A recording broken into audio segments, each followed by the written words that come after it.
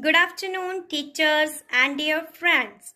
Firstly, I would like to welcome you all in session of EBC. It's my pleasure to introduce myself. My name is Palaknoor Kaur and I read in Government Senior Secondary School, Harpura Dhandoi and I study in class plus one. So our today's topic is some common health ailments. The ailments are fever, stiff, runny nose, sprain, cough, and rash. Now it's time to use these elements in the sentences. So our first sentence is You have a fever. Why don't you take some rest? Ouch! I have a stiff neck.